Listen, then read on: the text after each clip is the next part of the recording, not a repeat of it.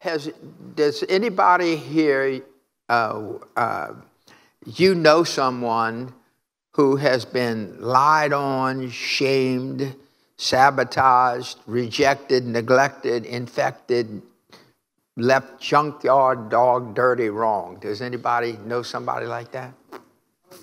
Man, it's amazing that you not only didn't identify yourself, but you didn't know anybody else that's ever been done wrong by somebody else. That's amazing. I'm going to ask again Does anybody know anybody that's been done wrong, lied on, misaligned, shamed, rejected, neglected, infected? Yeah, yeah. If you don't know anybody like that, how about you? Okay? And if not, have some sympathy for me because I get it night and day for years now. Amen. All right, we want to talk about believing for vindication. In case you don't know what vindication is, that's when God turns around and he uses people you don't even know to reinstate you, clean up your name. You know, understand that? Now, the problem is when somebody rejects you, shames you, lies on you, tries to seek your destruction or whatever it is, it's your emotional reaction to that that you have to watch out for. You ever, have you ever been at a traffic light and you're waiting, waiting, and then uh, it turns green and the person behind you, because you were looking on your phone, leans on the horn and then walks by and does a hand gesture of how many children they wish they would have had. Do you, do, do, do, do you know uh, there's something, you, there's something riles up, uh, is that right? All right, that's what we're talking about. We're talking about trying to be a Christian where God says something, He says, love your enemies and pray for them and do good to them. You really want him to do the proverbial lightning and just smack them because they touch God's anointed. Is that right? Man, we're going to have to get the worship team up here because uh, y'all were doing a lot better. I want to teach this believing for vindication, Deuteronomy 30. And it shall come to pass when all these things are come upon you both the blessing and the curse, which I have set before you, and you shall call to mind among the nations that the Lord your God has given you. Behold, I have set before you this day life and good, or death and evil. In that I command you this day to love your Lord your God, to walk in his ways and keep his commandments and his statutes, that you may live and multiply and the Lord your God will bless you in the land where you are possessed. How many people know you have a lot more potential in your life? You're not finished yet, is that right? Now, the enemy, based on what level of intensity you are a threat to the kingdom of darkness, is going to try to confront you, to dissuade you, disappoint you, frustrate you, and get your mind off of living in the spirit and get you smack into the flesh, into vain imaginations, and want you just just want. I, we were recently somewhere, and there was an elevator, and we were all dressed up at, the, at some event, and uh, I was the door opened up, and it's very very uh, lovely. You could see they were multi-millionaires with the earrings and the diamonds and a jacket and all this kind of stuff. And the lady and the husband uh, got in smiling and all. They get in, and when the guy pressed the button, he backed up, and she had open-toe high heels, and his heel mashed her on the big toe, and she smacked the living helicopter out of him. Now, everybody knows, and she should have known, he didn't do that on purpose. But her reaction was, I mean, I, I mean, and I don't think she said, let's see, what am I going to do now? What should I do? What's the right thing to do? She just smacked the heck out of him right there in the elevator, okay? Which caused him to be very embarrassed and, and, and, and not punch her right in the face. You understand? Now I'm talking about did you ever have someone just trigger that emotion and that razor tongue came right out of your mouth? Is that right? Yeah, I know you're married. Okay, all right, all right. Okay, let me get back up here where it's safer here. All right, so he says if you're going to possess the land, abundant life, you're going to have to understand there's giants in your future that wants to trip you up and cause you to get your mind off the gratefulness walking with the Lord because you're swimming in the sea of nasty flesh of other people. Is that right? Because how wonderful it would be if God would just take the wrong people out of your life? The people who do not understand the privilege of being in your life. All right, let me read it again a little bit further. I call heaven and earth as witnesses against you that I have set before you life and death, blessing and cursing. Therefore, dodos, choose life, that both you and your generations will prosper in the potential of the Lord. You understand, it's not, it's not bad enough that we make bad decisions. We don't understand that that goes to the second and third and even fourth generation. On the other hand, we're walking in victory. We are sending blessings down because you represent exactly like David did on the battlefield against Goliath. You represent the nation, the nativity, the nations that haven't even been born yet. You understand that? Because God is a three generational God. And so everything that you do right now is going to, going to affect or prosper your generations. So God does that so you recognize you must, you must walk with Him because you are going to injure people that you love down the line, and you're going to be responsible for them because you are the blood on the doorpost for all of those individuals. Why is that? Because God wants us to feel responsible for the people we've been assigned to. Next week, I'm going to be, uh, I'm probably going to be teaching, uh, for example, like um, I have assigned Dan to me. He represents me in my ministry, but also, you know, there, there, there is a, a situation is everyone that you are assigned to or is assigned to you you have to decide if you're going to trust them or not. The problem is, I trust him, but everyone, everyone, what did I say? Everyone that you trust, trust someone else. And that someone else that they trust is going to influence, influence the, the potential of the future here. I have had the nauseating problem of some, and even my leaders, the people that I trust to be responsible, fellowshipping with my enemies, taking them out to eat, on Facebook and so on, with people that they know hurt me, my wife, my children, uh, my grandchildren, and our potential of our ministry. And they didn't value the trust that I put in them. And so they're friends with everybody. These are political people.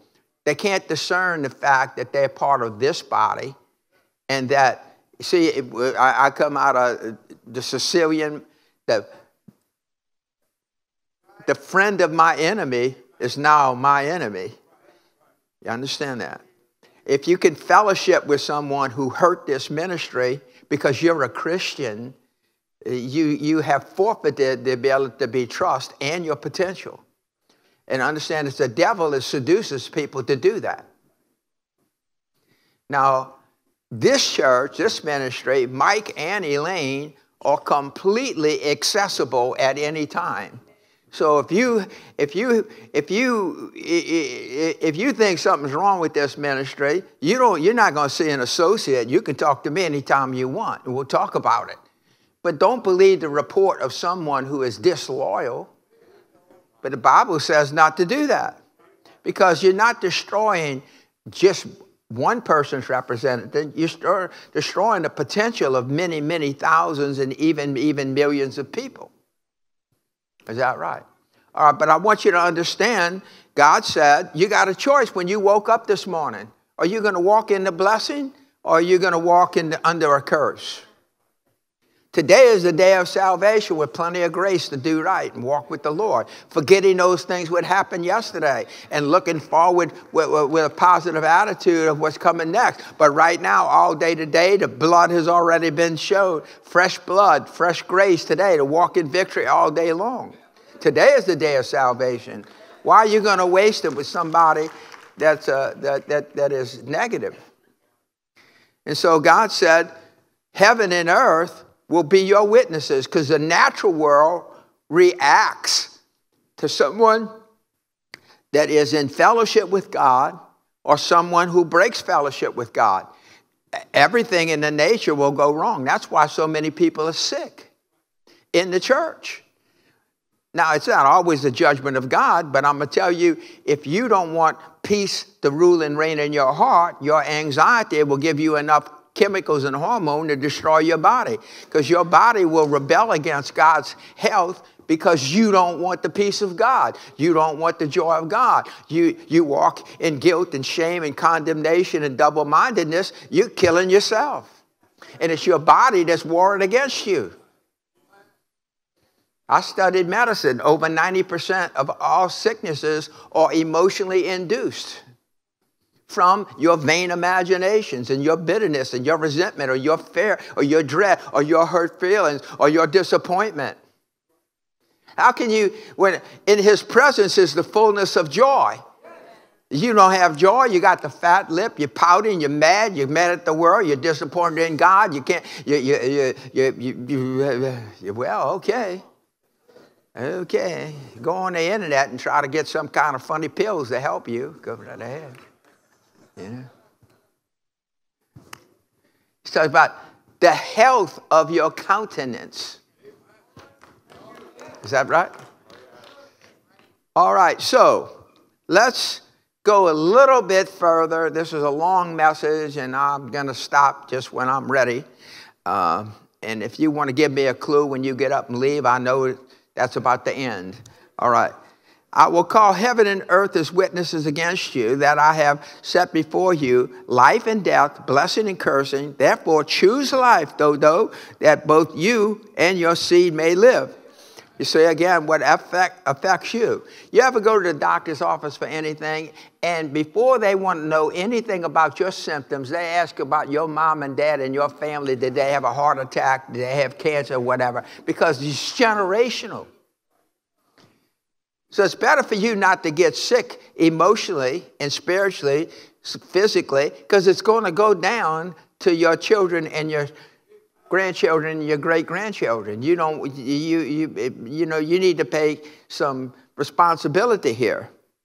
So we must choose to believe that everything is working for our good. Why? Because Romans 8:28 says that. So if everything is working toward your good, Lord, how does the bad work for us? Well, if everything you did worked out, if everybody was nice and wonderful to you, and you never ever had any trouble with anything, why would you need God?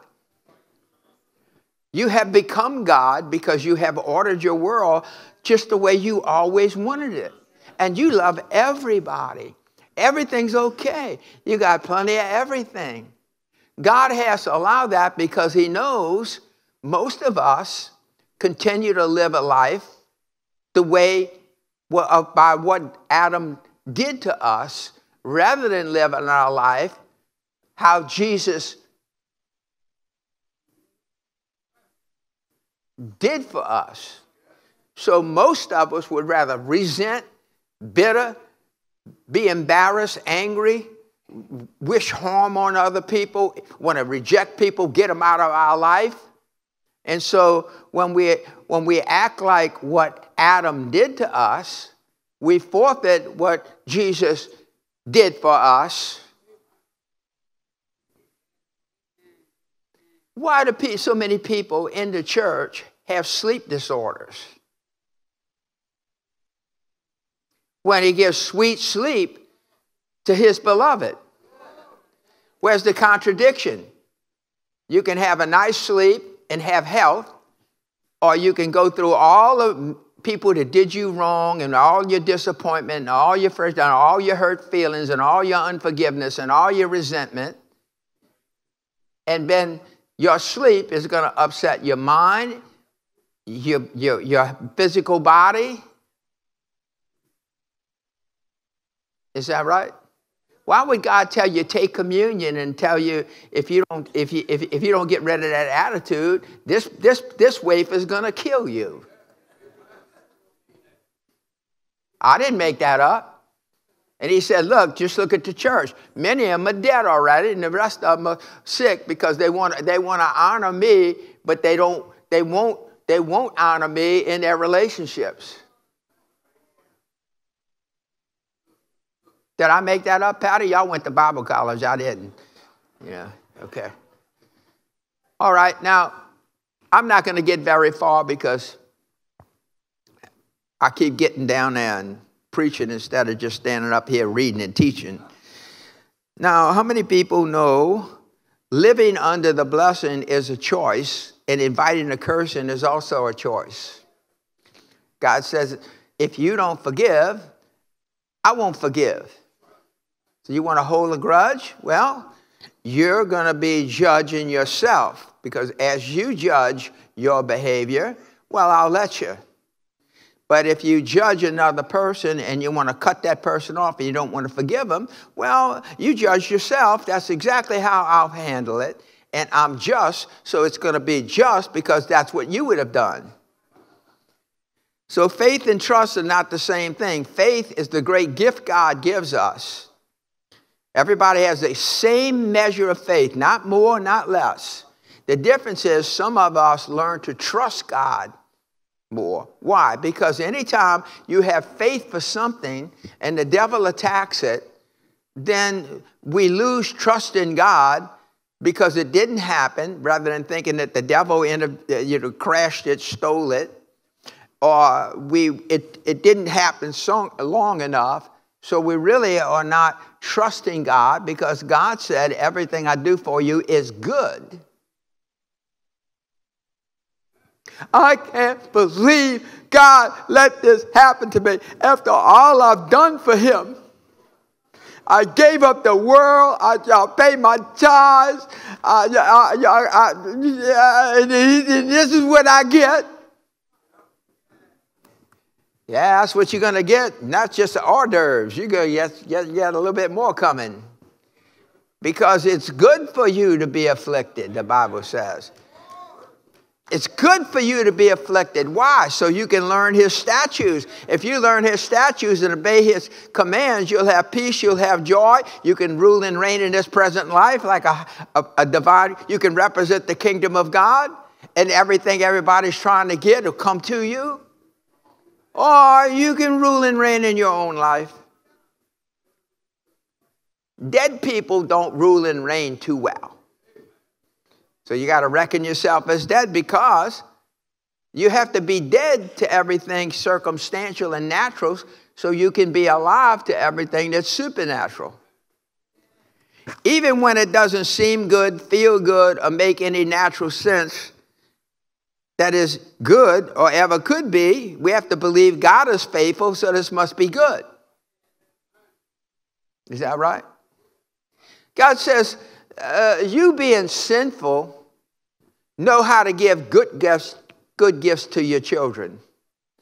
He says, if your little boy asks you for bread and you hand him a stone, is that right? Now, what he's saying is, if you really trusted me, when something in life, I say it's bread, it's good, and you bite into it and you go, no, this is hard and not good. Well, you don't trust me because I said it was good.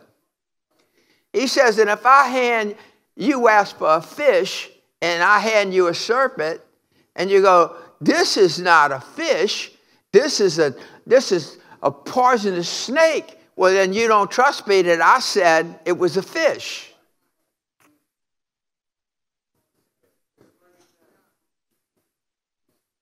Another said, we enter into the kingdom through a gate called much trouble. In this life, he says, you will win the lottery every day. Now, in this life, you will have much trouble. So we have trouble and we want him to explain himself. He says, This is good for you because it trusts you, it teaches you to trust me for even more. But you want it your way, not my way, Brother Jose.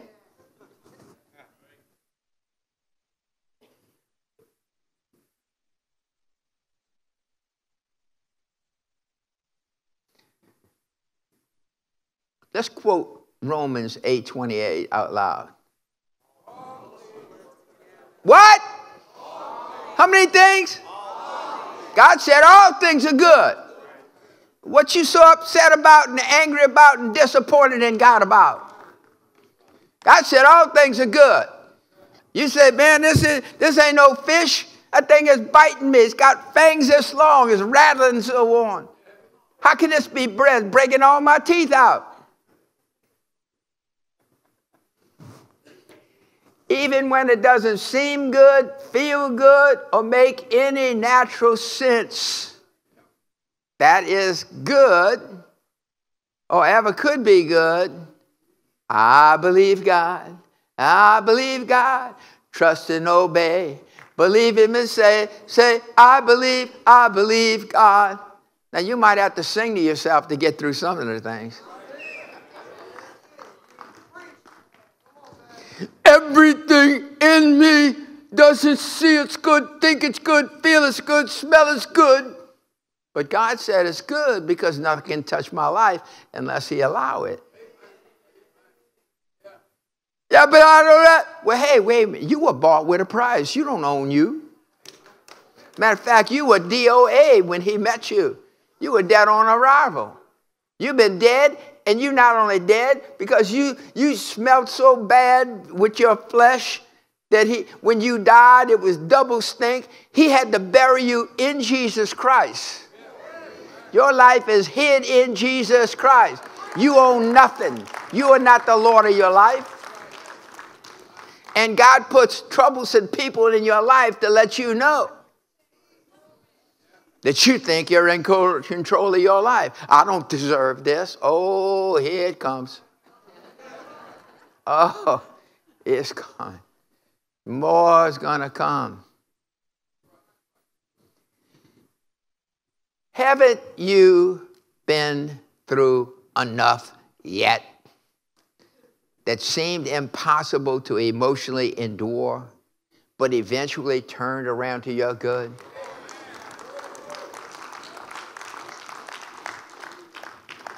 See, if you, if, if, if you have the right attitude, you can understand that trouble is the doorway to the banquet table.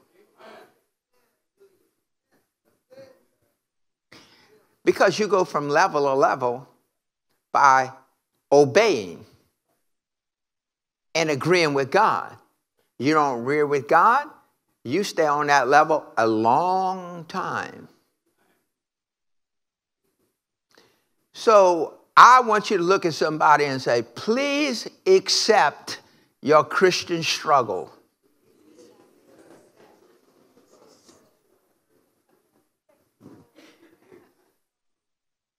Jesus says, Now look, I want you to believe in me. I believe in you. Okay, for the rest of your life, everybody in the world is going to hate you. But don't take it personally. It ain't about you. They're mad at me. Yeah, but it feels like they're mad at me. They're persecuting me. It feels like they're persecuting me. It ain't you they're talking about. He said, Oh, yeah, it is.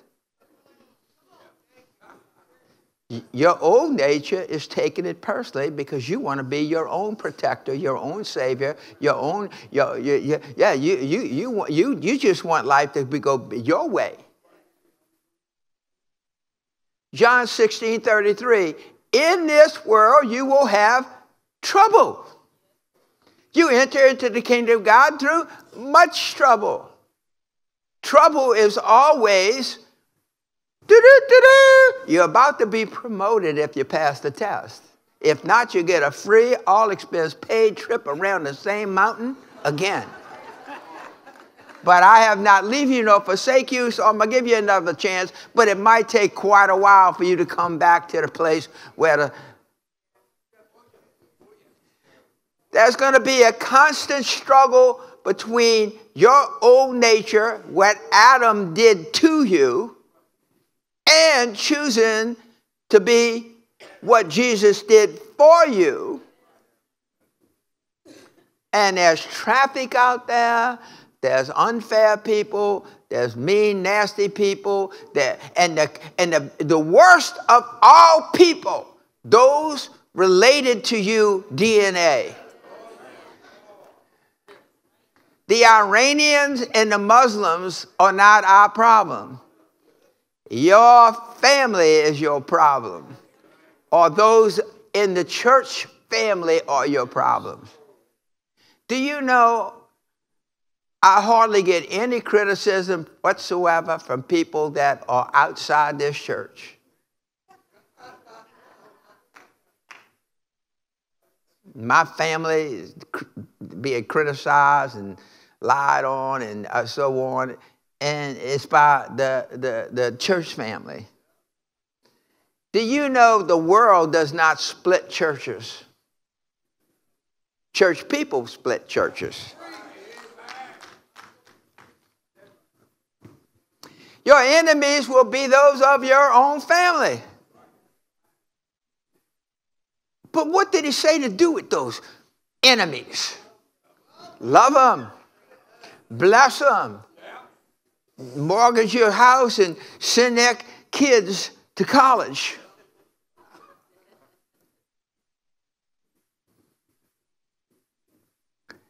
He said, if you want to be spiritually vindictive, love on them, and it's like setting their hair on fire. That's what the Bible says.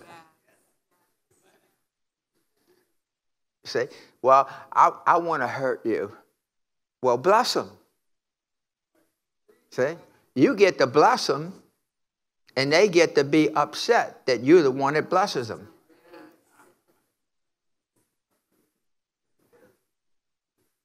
Is that right? That's Bible, huh? Right, look at Galatians 5:17. The sinful carnal nature wants to do evil. We want to resent them. We want to criticize them. We want to judge them. We just, just we, we so Christian, we just don't want them to be nowhere around us. But to forgive people that have hurt you and your family really bad, it's not that easy for one reason our emotional nature.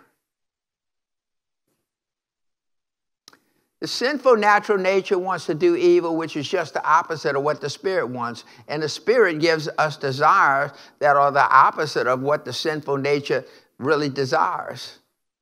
These two forces are constantly fighting each other, so you are not simply free to conduct your good intentions.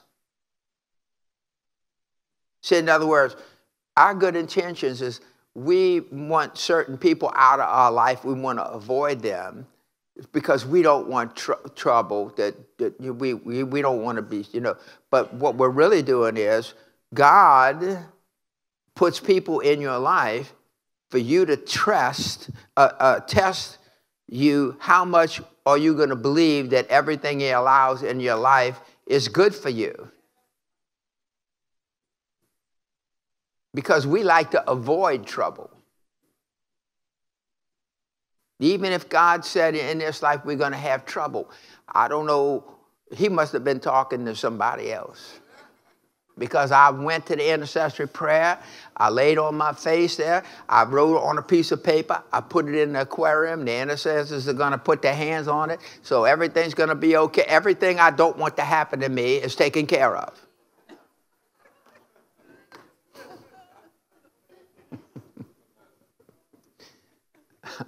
Okay? There are always struggles and wars going on just in your own mind. There are always struggles and wars going on in our lives about what has authority. Will good or evil prevail on your life? Well, that's a perspective and a choice. And if you make a spiritual perspective that He is Lord, I commit my way to you, Lord. You said, if I commit my way to your Lordship, you will establish my thoughts and you will direct my steps. Why do you, why are my steps going towards that?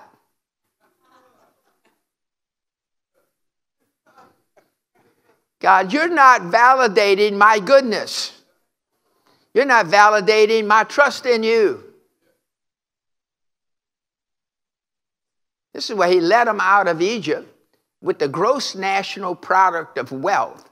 And they take the gross natural and make a golden calf to worship him. That's the nature of men. We, we make idols out, out of even our own life, our own happiness, our own success. We want God to bless what we did. And we're not real crazy about what He wants to do with our life. There is a struggle between light and darkness, Paul said. There's what I want to do. This guy's writing the epistles for us to learn about God. And he says, you know what I want to do, I don't do. And, and, and what I don't want to do, I wind up doing. And, and man, I see this law in me. Yeah, that's what Adam did to us. But let's focus on what God, what Jesus did for us that we can walk in victory. So there is always a war between blessing and cursing. Now, God said, you know what He said, Chad? He said, I'm going to help you, Chad. This is what I'm going to do. I'm going to break down your whole life into one day. When you woke up this morning, this was the day of salvation. I don't care how many times you said you were saved yesterday. Today is the day of salvation. Just today. Your reality is only, only right now. Matter of fact, it's only now. Faith is just now. Now it's now, now it's faith, now it's faith, it just keeps moving. So, eh, based on that mind, are you in the spirit or are you giving your mind to the natural? He says, But what I'm going to do, since you're going to keep going back to the natural, before you wake up, I'm going to sprinkle fresh blood from the throne that's going to cover from the time you wake up to the time you close your eyes today. So you're going to be walking in fresh blood so all your sin is going to be forgiven before you do it. And I'm going to give you grace that was not, not touched by human hands so that everything going wrong today, you'll be able to endure it. Don't look to tomorrow and don't remember yesterday.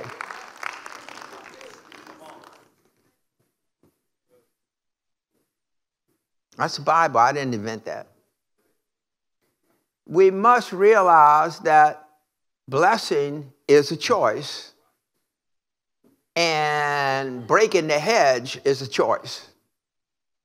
You want to be mad at her because she was gossiping about you? You want to do that? Well, break the hedge. The serpent will bite you.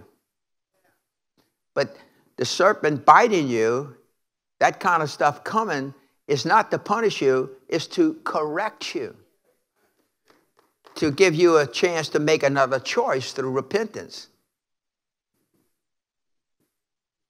Don't tell me you don't have somebody in your life that, that it would be wonderful if they just disappeared.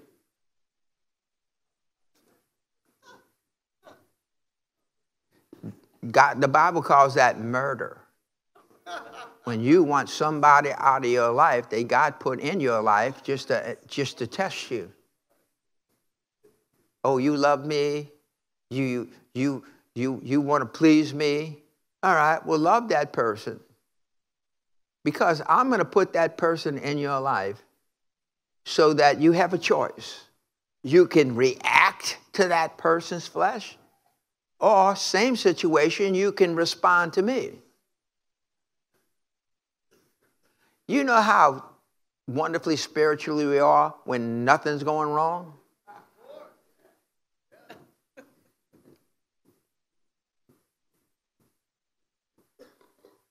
Sometimes you have people in your life who choose cursing.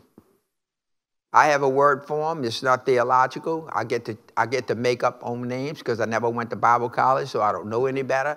So so when there are people in my life, I just assign them they're self-cursing people because they rejected the blessing and so their lives are tormented in many, many ways. They're, they're, they're frustrated, disappointed, depressed, got anxiety, sleep disorders. Uh, they can't keep a job. They're addicted to something. They're angry at the world and so on. These are people that just decided they didn't need to get under the blessing. But the problem is they're in my life. Now, it's kind of good that they're in my life because I get to see what an example of someone who is self cursed, and I'd rather be self blessed. Behold, I put before you today a decision. You can choose life or you can choose death. You can choose blessing or stay cursing. And he goes, You're such a dum dum. Choose life. It's in the Bible, just exactly like that. God has to tip us off. Everything natural will act against them. They can't keep a job, they can't stay healthy, they can't stay off drugs, they can't stay off alcohol. They have to have medication and depression and worry and anxiety. They have to have all things. They got to be divorced, they got to be separated, they got to be, a court has to tell them what to do. And we all have somebody like that's real close to us. Proverbs 13, 15. Good understanding brings favor, but the way of the transgressor is hard. I've often asked God, why did you not put in the Bible a proverb? Why do you bite the hand that feeds you? We all know people that we did our best, we sacrificed, we did what we could, and they're not only ungrateful, they become your, they, they talk against you. And you make this solemn pledge, well, I'll never do that again. I ain't helping nobody no more. And never, let me tell you, I tried to help Sally. I did this. I helped her with her rent. And you know what she did? She went and told everybody all kinds of lies on me. Well, I said, I ain't helping nobody else. You see, what Adam did to us is what we think to do. Bible says you do what seems right in your own eyes. It feels good to take and judge that thing. and seek to save our own life and our own reputation and our own happiness and what we our own success. Well, go right ahead. But we, you know, we losing a lot of eternal reward. God gave authority to the physical elements, witness against those refusing the blessing and the cursing. You know, Korah wanted to be the leader of all the people, and he decided to do his own thing, and the ground just swallowed him up, and everybody who decided they wanted to be with him.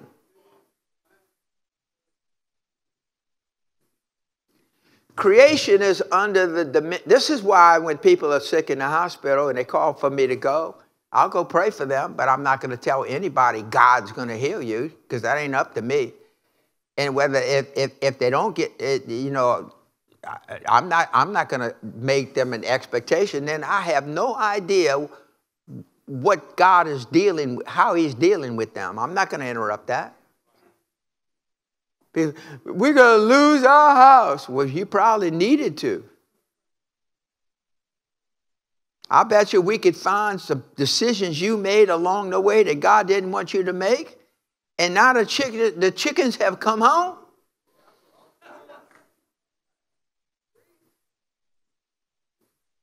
Very, very few of us have sudden destruction.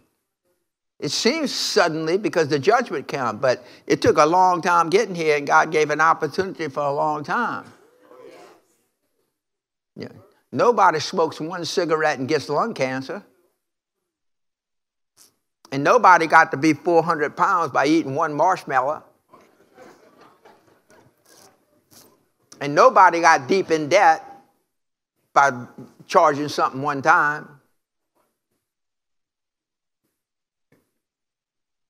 Is that right? The prophet Ernie telling it the truth. Yeah, says it the truth? Yeah. The struggle to believe for vindication. Here's the problem is when you have been criticized, lied on, embarrassed, re- rejected, all those things, and you ask God to vindicate you. And he'd go, okay, I vindicate you. Yeah, but she's breathing. she just went on a cruise. How in the hell is that vindication, God?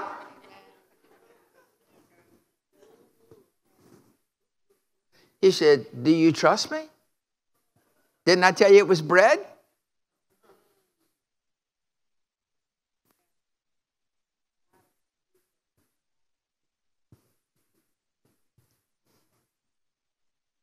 Are we going to trust God's word and be blessed? Or do we want to take control of our own world and only believe God when it looks like what and seems like in the way we want it to be. Lean not to your own understanding. Put no trust in your natural mind. You're dealing with Adam. You should be under the lordship of Jesus.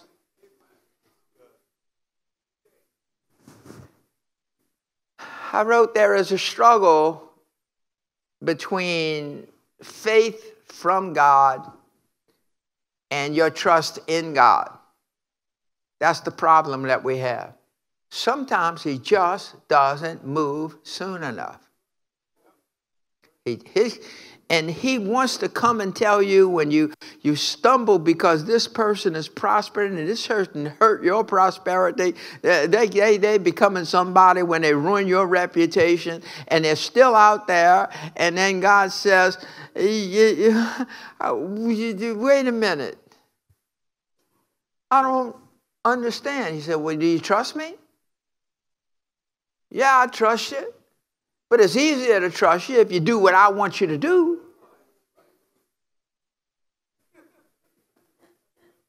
Is that right? Okay. Well, let's go a little bit further. Uh, Matthew 5 11 through 12. Uh, blessed are you. Blessed. When are you blessed? You blessed when? When people revile you. And that's a, it's a blessing because you get to identify with Jesus Christ. You wonder they can't recognize your goodness? They couldn't recognize Jesus Christ. How do they think going to recognize you? Bless, you want, you want the blessing? Here's the blessing. They'll revile you and they'll hate you as they hated him and they'll persecute you. But uh, when all evil comes out against you, because you see, you're an enemy of darkness. And the only thing that's going to matter is do you going to react to that circumstance or are you going to respond to God's word? Are you going to react to that presence or are you going to respond to his presence? He calls you blessed. He calls you the righteousness of God in Christ Jesus, but him calling you to righteousness of God in Christ Jesus and her calling you a thief, a, li- a liar. So whose, whose reputation do you want to choose? It's not enough. See, the devil is always going to do the same thing. Adam and Eve, God's presence wasn't enough. To be blood washed, named in the Lamb Book of Life, the Holy Spirit invested in you, clothed in, in Jesus Christ, called the righteousness of God in Christ Jesus, and that's not enough. You want everybody to like you and love you and recognize how wonderful you are.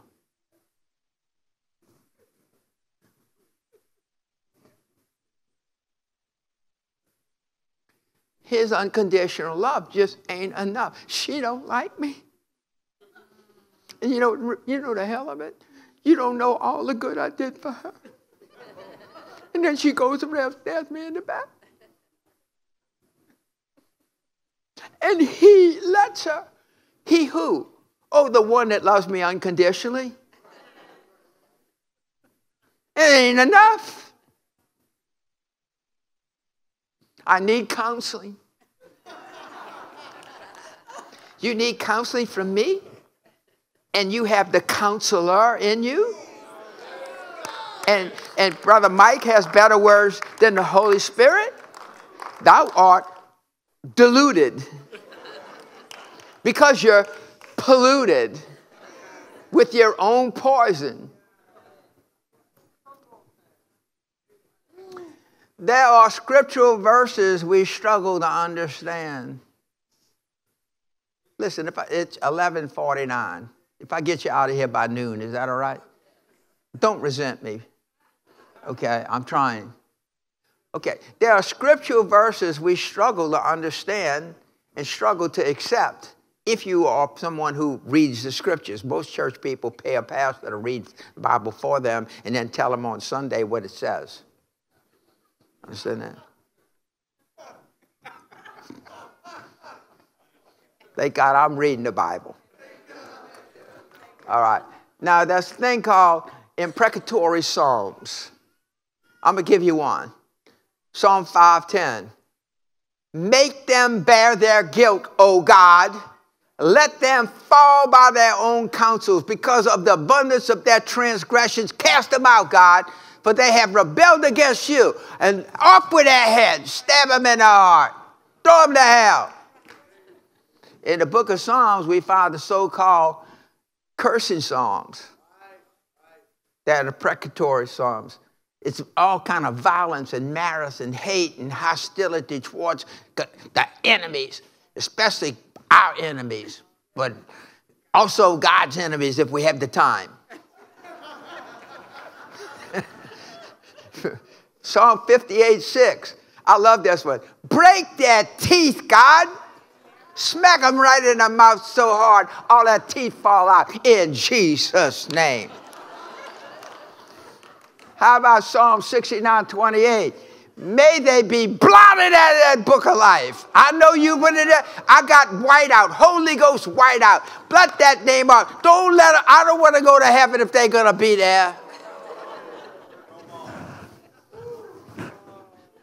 Psalm 137, 8 and 9. Happy is the one who grabs that baby's out of their arms and smashes his head up against that wall. This is the Word of God. Psalm 109, 8 and 9 also says, May his days be few. How about kill him right now? May his children be fatherless and his wife a widow. They should have never had that attitude towards me. These are not quotations of evil men. They were psalm writers inspired by God. How can this be? Well, I'll tell you what, almost Christian, everybody in the world and a lot of Christians just don't believe in the wrath of God. The fear of God is the beginning of wisdom. We have no idea when the wrath of God on the day of the Lord hits this place. It's going to be so violent, and the hearts of God's enemies will be so great. They will ask God to let the stones of the mountain fall on them rather than them bow the knee.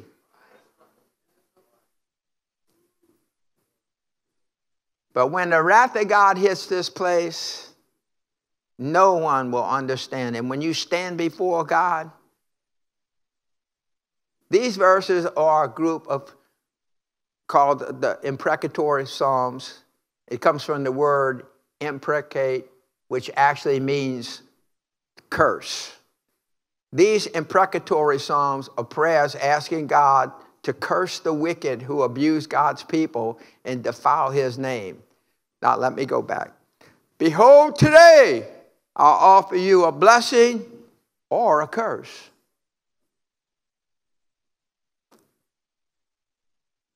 Now, these Psalms are a, a look at the wrath of God towards evil, where I killed my own son for you, and it wasn't good enough. He didn't die dead enough. He didn't suffer long enough. He didn't bleed red enough for you. And when the wrath of the Father comes, it's, in, it's, it's unimaginable to us. So these Psalms, and many variations, call upon God to inflict terrible curses upon both God's and personal wicked enemies. Now, many people read these things and they think that David, who wrote at least five of them, maybe more, that David really, really hated uh, his enemies. But what he really was doing, revealing that God said, I will not strive with man forever. The grace period, the great dispensation, has a date where it ends. And when it ends, nothing will ever be the same. Making sense of the cursing psalms.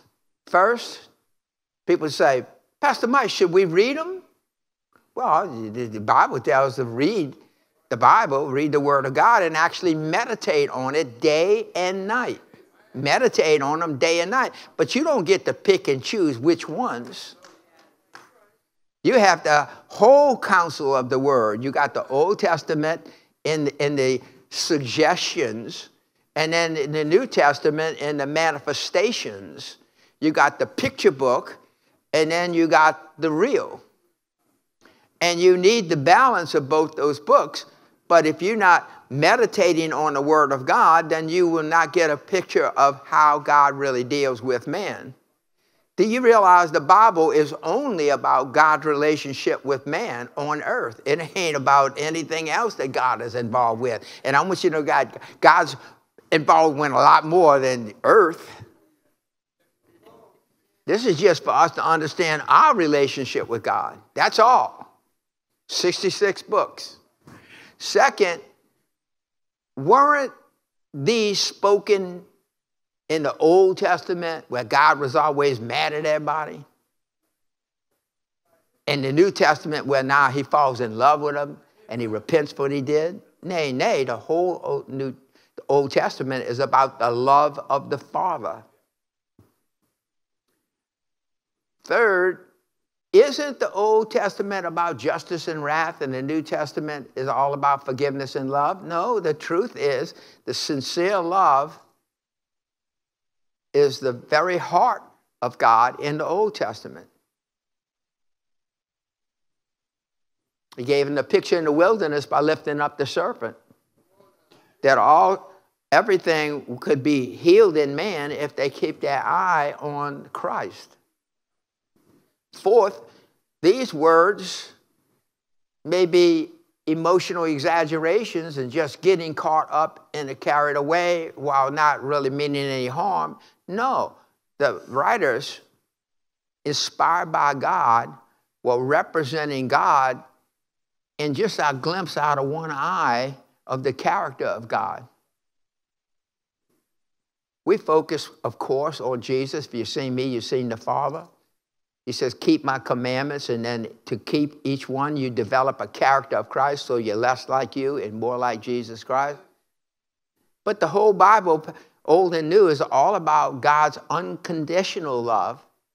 But you see, we love everybody and put up with everybody under our conditions. And when they don't fit our conditions, we don't have, we don't, we move from them. We don't need them. We don't want them. If you're going to be a fellowship with me, read this, sign it. You promise that, that you're going to, you're going to, you, you know, or, or you won't have me.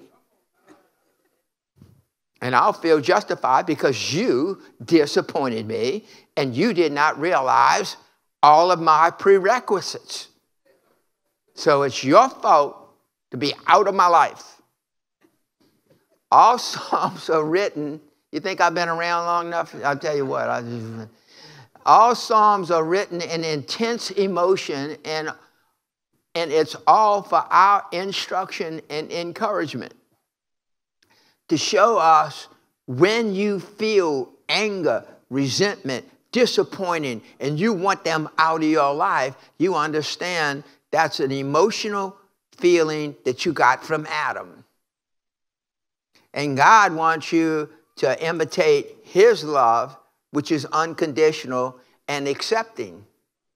And God will move them in and out of your life according to his will, not your will. And when you move somebody out of your life, you have murdered them. The biblical description of murder is not shooting somebody with a gun, it's removing someone from your life that God put in your life to crucify your flesh. You don't have to forgive if you have no one in your life.